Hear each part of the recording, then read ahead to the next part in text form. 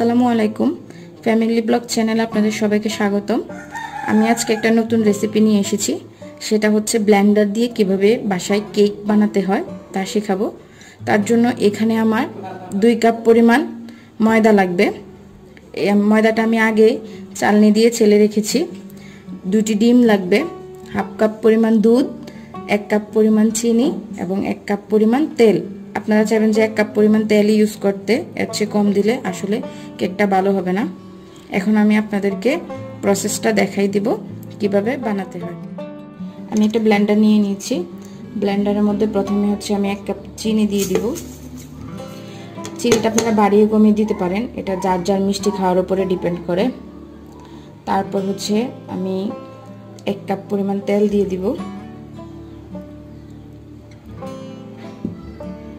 তারপর হচ্ছে ডিমগুলো দিয়ে দিচ্ছি।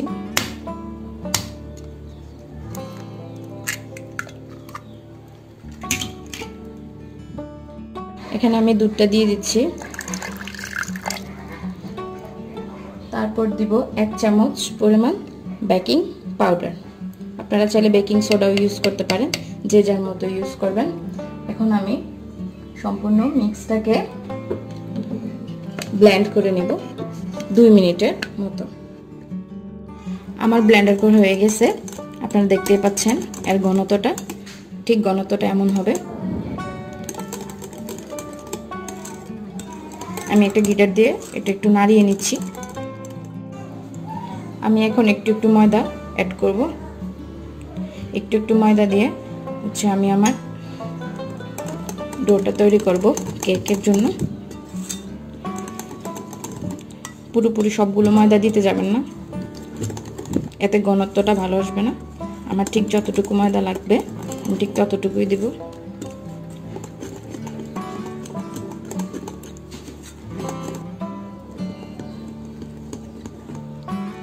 আমি একটু একটু করে মিশিয়ে নিচ্ছি।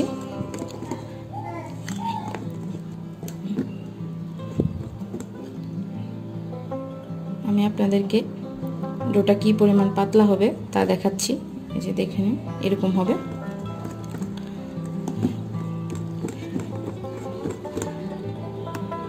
আমার ডোটা হয়ে গেছে কেক বানানোর জন্য। এখন আমি একটা প্যান নিব। এখানে আমি স্বাদ মতো লবণ দিয়ে দিয়েছি। লবণ দিয়ে আমি আবার একটু মিশিয়ে নিব। এখানে আমি একটা কেক বানানোর জন্য পাত্র নিয়েছি। এখন আমি হচ্ছে আগে থেকেই ব্রাশ দিয়ে পাত্রের মধ্যে তেল লাগিয়ে রেখেছি। এখন আমি কাগজ দিয়ে দিব।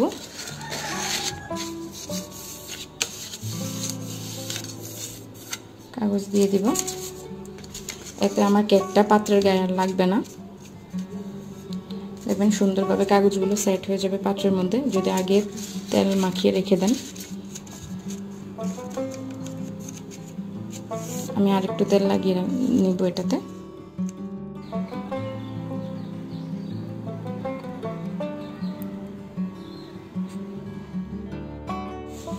এখন আমি পাত্রটা একটু ঝাঁকিয়ে নিব, যাতে পাত্রের কোনো জায়গায় খালি না থেকে যায়।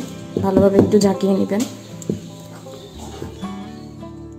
এখানে আমি একটা আগে থেকে দশ মিনিট আগে থেকেই একটা পাত্র গরম করে নিয়েছি।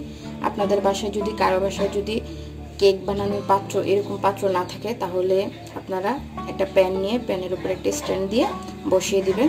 একই হবে। আমি কেকের পাত্রটা চুলার মধ্যে বসিয়ে দিয়েছি। এখন আমি একটা ডাকনা দিয়ে দিব। ডাকনা দিয়ে চল্লিশ মিনিট অপেক্ষা করব।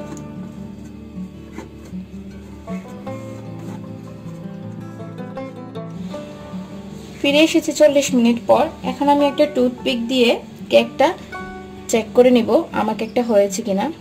আপনারা দেখতেই পাচ্ছেন, টুথপিকের গায়ে কোনো কিছু লেগে নেই, তার মানে আমার কেকটা হয়ে গেছে। এখন আমি কেকটা উঠিয়ে নেব। আমি এখন আপনাদেরকে এটা একটা বোর্ডে নিয়ে দেখাচ্ছি কেকটা কেমন হয়েছে।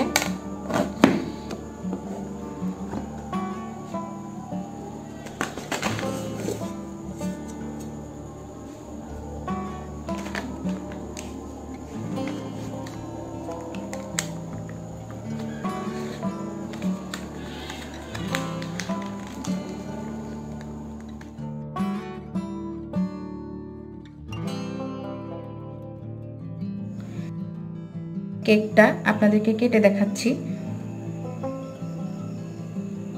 আপনারা বুঝতেই পারতেছেন কেকটা কতটা নরম হয়েছে।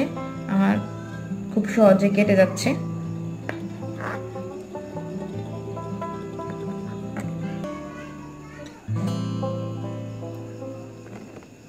আপনারা দেখেই বুঝতে পারতেছেন কেকটা কতটা ফ্লাফি হয়েছে। দেখুন। এই পদ্ধতিতে কেক বানানোর চেষ্টা করবেন এবং কেমন হয়েছে তা অবশ্যই কমেন্ট সেকশনে জানাবেন।